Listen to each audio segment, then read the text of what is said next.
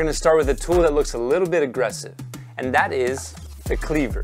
So as you can see, a cleaver is quite heavy, but it's also very good for using to cut things like vegetables. You can dice, mince, everything like this. You can also use it to crush garlic, ginger, and even cucumbers. Remember Luca in that video? A cleaver is very similar to a chef's knife, although there is one very clear difference. A cleaver is very good at cutting through bones. Now many Chinese people, they don't take the bones out of the meat when they cook. The reason for this is because the bones are very important at achieving the correct flavor profile in the dishes that they're creating. Remember the sweet and sour pork ribs that Luca made before? Yeah, that's what I'm talking about. Trust me when I say that you should definitely get one of these knives.